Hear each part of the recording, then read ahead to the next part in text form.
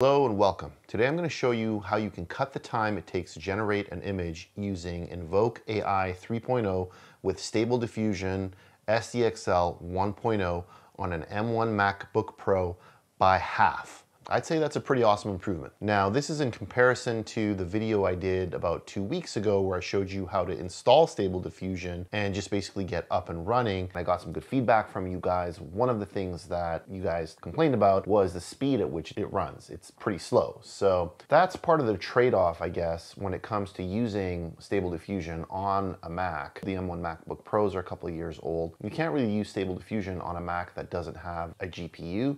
You can, I believe, but you're gonna have to set it to use the CPU, which makes it even slower. It's already slow enough on a Mac with a GPU. Having said that, I think it's still worth using it and having it on a Mac. I use it to generate images all the time and I'm quite happy with it.